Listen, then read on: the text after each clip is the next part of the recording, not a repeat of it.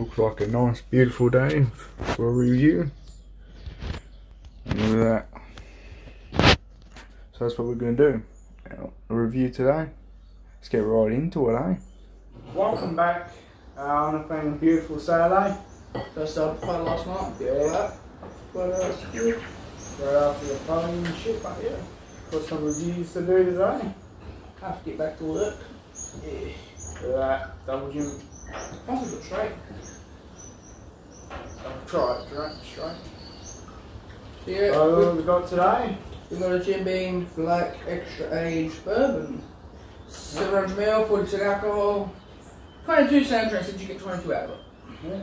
Show it to the camera. It's a fucking American, American, official American Jim Beam, isn't it? Um, bourbon. American bourbon, that's.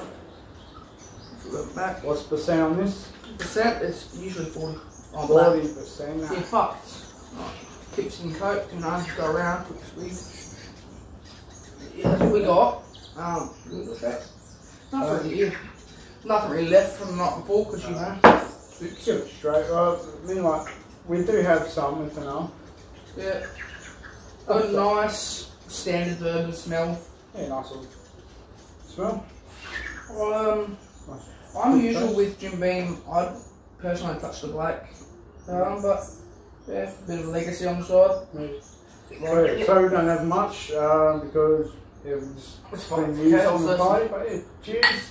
Cheers to, to use out there. It's got a rich, nutty taste. Yeah. Goes down nice and smooth. Got a nice zing and burn. Yeah. And now, if we could, we'll put, if we still got some, mix it with a little bit of coke as well. Everyone Not, knows not, too much, you always have a bit of coke, not too much. just a little bit. So What do you drink? Put down in the comments below. What do you tell us? that should be enough. Just a little bit of coke with it. Personally, I prefer coke. Anything with coke, any bourbon with coke, I just prefer.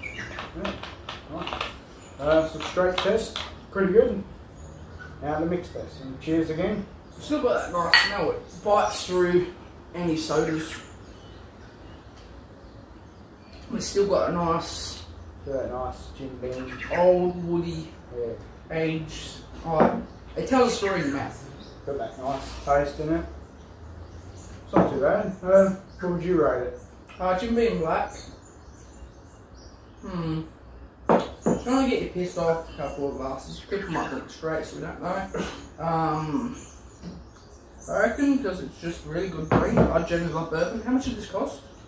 44 bucks. 44 for something. I don't. Yeah, so, That's not too bad actually. So I reckon it's Jim Beam. I'm a professional fan. Um, I reckon eight and a half, eight and a half. maybe eight point seven. That's not too bad. Uh, the only thing down with it is just I don't like the strength. I prefer a nice simple drink. It's good strength, but still, um, it's a fun party drink. Um, do they got one liters of this? Uh, no, not what I believe. So that's what seven, uh, eight point seven.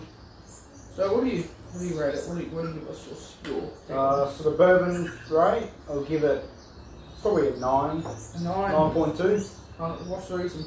Um, just been raised as a Jim Beam boy, I suppose. What jumps out at me? It's white oak, extra age, full It's body strong, character. strong as well, so that's one good thing I do like about it.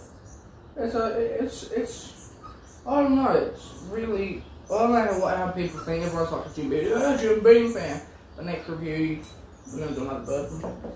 So, yeah, but this is Jim Beam uh, Black A Extra Age Bourbon. Don't forget to like, subscribe, hit push notifications, Yep. give us a little thing. Funny story if you have to do down below in the comments what exactly you think of the Jim Beam. Yep, and yep, uh, ask me later, don't just go off rambling about something. Yeah, that's all the reviews again. Signing out. Nå heier nærmer seg, spør alle hva jeg gjør da. Ew.